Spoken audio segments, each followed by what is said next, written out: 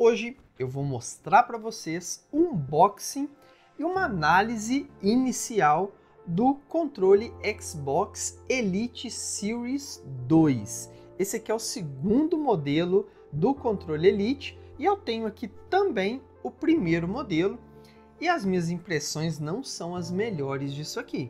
Espero que a segunda versão tenha melhorado os pontos que me incomodou ali. Lembrando, aqui no portal BRX, todo review, análise de qualquer produto é feita para você, consumidor que quer comprar um produto, mas saber realmente se o produto é bom, os seus pontos positivos, os seus pontos negativos e todos os detalhes importantes para fazer escolha. Este não é um vídeo de propaganda do controle, mas sim um review verdadeiro de gamer para gamer.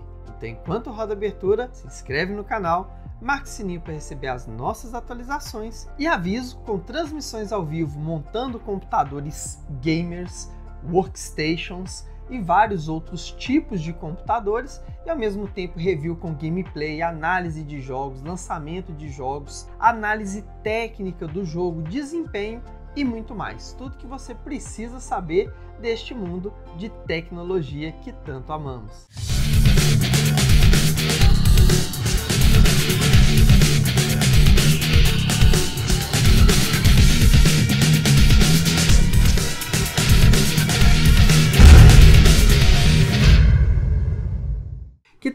O Windows original para sem problema com ativadores e funcionando tudo perfeitamente? Aproveite a promoção de março da GVG Mal. Os links estão aqui na descrição do vídeo e ainda 25% de desconto adicional usando o código PBRX exclusivo do portal BRX para vocês. Então corre aqui embaixo e aproveite.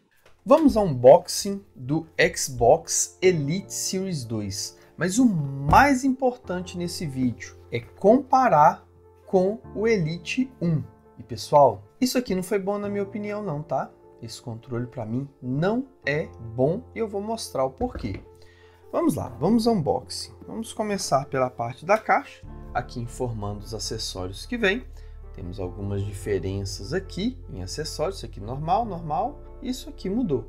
A caixa é diferente e aqui embaixo tem a informação em português. Personalização ilimitada reatribui botões, otimiza a sensibilidade e muda de perfil rapidamente.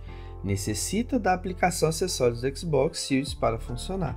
Do lado aqui informa os acessórios e até a compatibilidade com Android e iOS. Lembrando que esse controle ele não usa mais esse adaptador para funcionar, ele usa Bluetooth. Então aqui conta com os acessórios, o controle, os botões, a case, um carregador e a chave que é para poder aumentar a pressão dos controles. Isso é uma coisa que eu gosto mais nos controles do PlayStation. Eu acho o controle mais macio. E este aqui eu sempre achei o do Xbox um pouquinho mais duro, mais firme. Então vamos lá. Vamos tirar os lacres. Vou puxar essas duas linguetinhas aqui. Vamos abrir a caixa. Aí, caixa bem rígida, firme, bonitinha também. Aqui nós temos a case, lado a lado com a outra. A textura é diferente, essa aqui já está bem suja, né? Eu estou até limpando minha mesa e dando uma geral aqui, nunca lavei essa. Mas está bem empoeirada. A parte de baixo dá para ver as diferenças. Ó. Aqui ainda temos conteúdo aqui. Vamos tirar esse papelão. Temos a caixa com cabo, é um cabo bem longo, agora não mais micro USB, sim tipo C. E aqui nós temos o manual do controle. Muito papel, muita coisa, olha. E vamos ao controle em si. O puxador é igual. A case, nós temos um buraco aqui atrás e uma tampinha para ele também. Já um diferencial aqui. E aqui uma alcinha para carregar. A anterior também tem alcinha, mas não tem um buraco. Vamos abrir. E aqui nós temos o controle em si bem pretinho, o acabamento emborrachado da mesma forma, os dois analógicos. Essa cruzetinha que eu não gosto, prefiro a clássica mesmo. Vamos manter as duas caixinhas lado a lado e comparar os controles. Esse controle aqui, olhem só como é que ele está ridiculamente feio.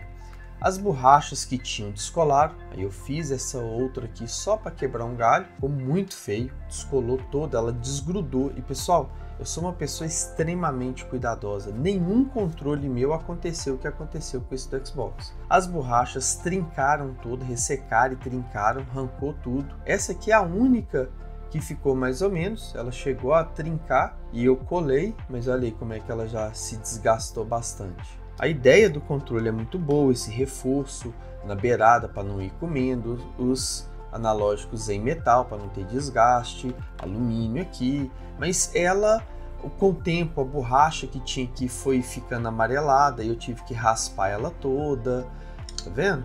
O controle é bom, funciona os botões aqui tudo direitinho, mas esse acabamento não ficou tão legal, sabe?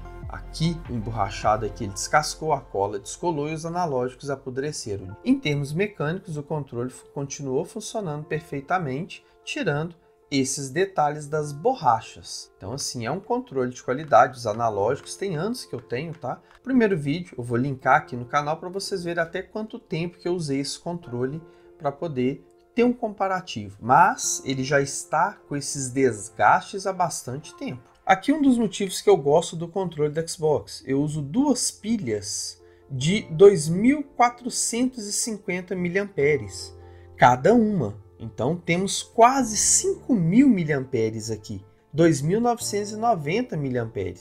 Ou seja, o controle do PlayStation ele tem 1.000 mAh. Então nós temos 5 vezes mais bateria em comparação ao controle do PlayStation. Ou seja, Vai colocar a pilha recarregável aqui e durar o resto da vida. Dura muito tempo, tá? Mais de. Vamos, vamos colocar que dura um mês inteiro, que o consumo da bateria não é tanto assim. A case do lado de dentro, local para os analógicos, olha como que virou os outros analógicos. Arrancou a borracha toda, trincou e ficou desse jeito. Essas aqui eu tentei colar e colei, aí serve ainda, mas eu particularmente não gosto muito da, dessas muito altas não. Então tá aqui, aqui é como ficou. Então, até recomendo a utilização de ah, recursos assim. Acho horrível, me incomoda, mas infelizmente os controles de hoje estão dessa forma, né? Aqui nós temos as borrachas aqui em cima, nas laterais e aqui também, como no primeiro, menos essa parte. Espero que não solte como aconteceu com o primeiro Elite. Os botões adicionais aqui embaixo, reparem que temos uma cor um pouco diferente, aqui está mais grafite e aqui mais prata, né? Aqui o alumínio na sua cor natural, anodizado e não escovado, e aqui com leve tom acinzentado. Repare que nós não temos mais a tampa da bateria aqui, então não dá para colocar bateria.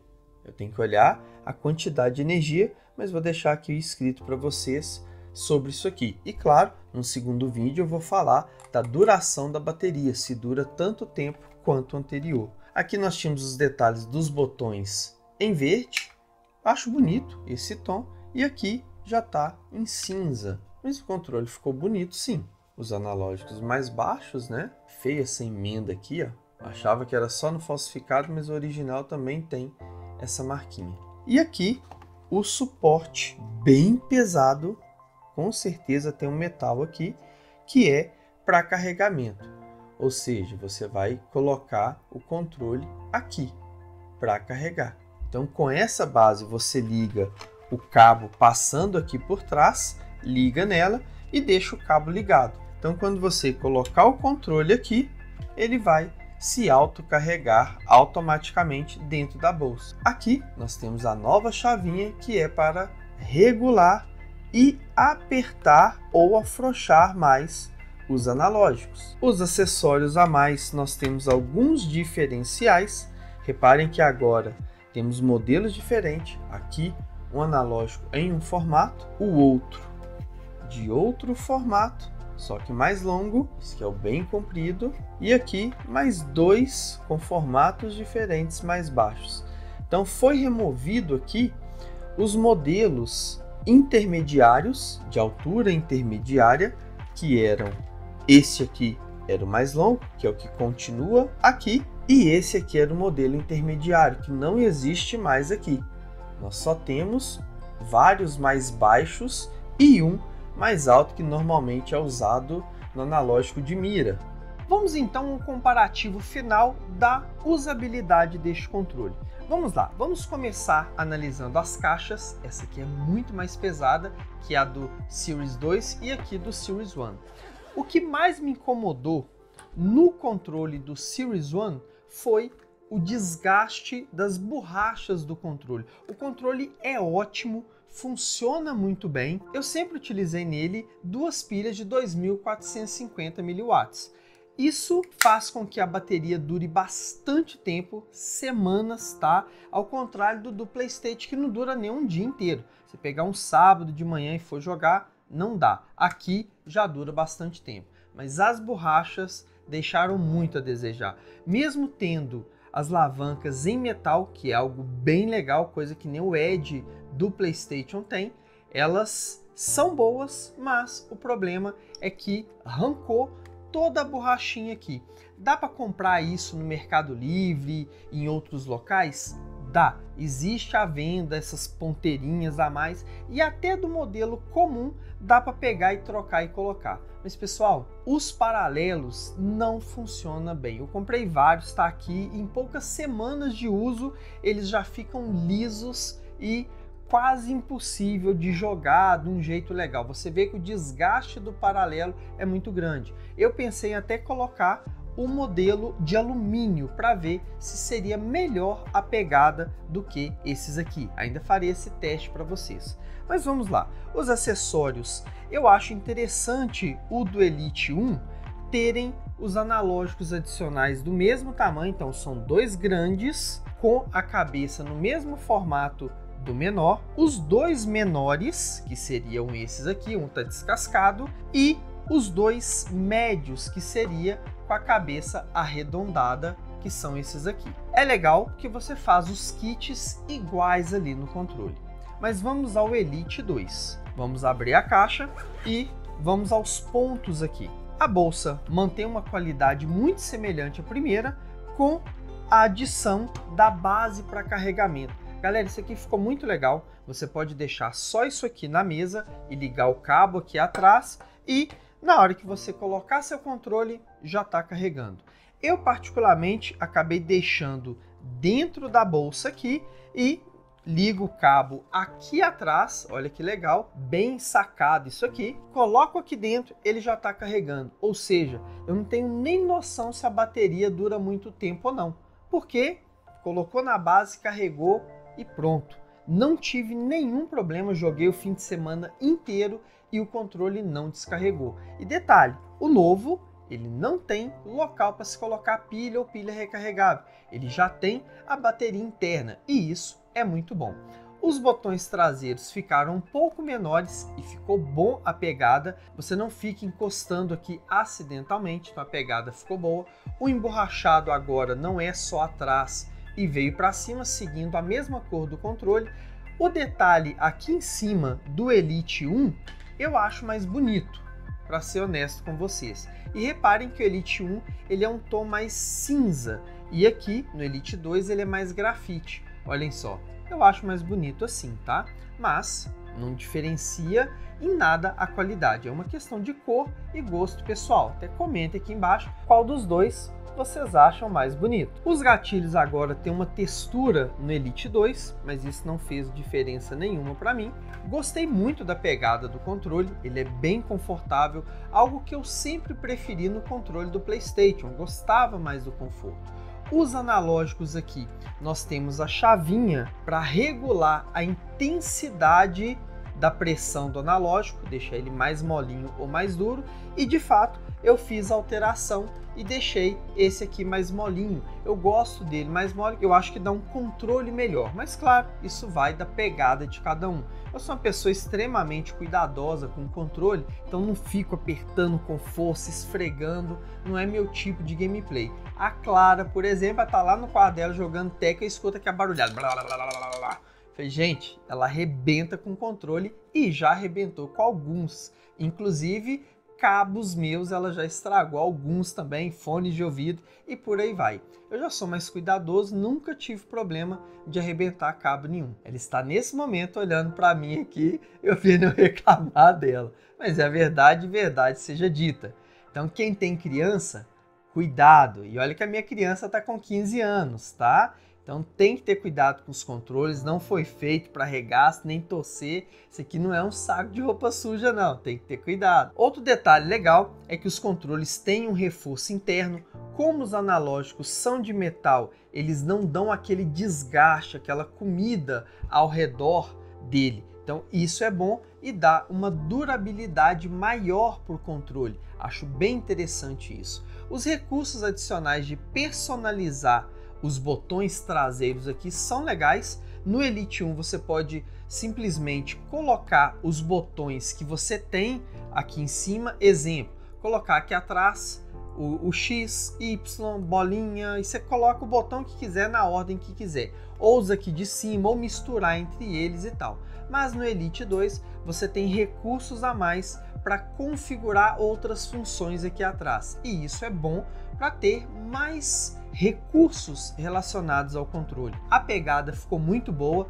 Com a regulagem você consegue ele mais macio igual ao do PlayStation ou mais firme como o de costume no Xbox. Uma coisa que as pessoas podem criticar é que o controle do PlayStation tem aquela catraquinha aqui dentro, é um motorzinho com uma rosca infinita que faz ter uma força diferente. Exemplo, no jogo The Last of Us, quando você apoia o dedo, ele apoia o gatilho e ele fica duro no meio do percurso e aí você termina de apertar e aí o personagem dá o tiro. É legal isso? Sim, muito. Traz um realismo diferenciado para o controle, uma sensação que você está realmente dando um tiro e uma arma, só que durante a gameplay isso pode te atrapalhar um pouquinho, ficar de uma forma não tão precisa, às vezes faz você ter uma vibração um pouco maior, mas sim, é legal. Mas no controle do Xbox, o Forza, por exemplo, quando você acelera o carro e ele começa a trepidar, quer dizer que o carro está patinando. Então você solta um pouco e aí o carro pega tração para poder arrancar. Então é bem legal isso no Forza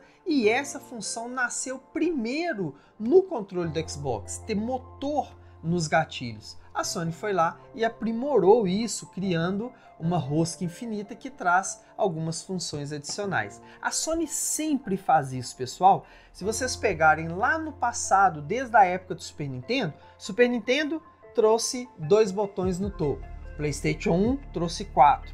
A Nintendo colocou o Rumble Pack, que era um motor para vibrar o controle do Nintendo 64. Um pra, a Sony foi lá, colocou dois motores, um para vibrar mais de um lado, outro para vibrar menos do outro lado.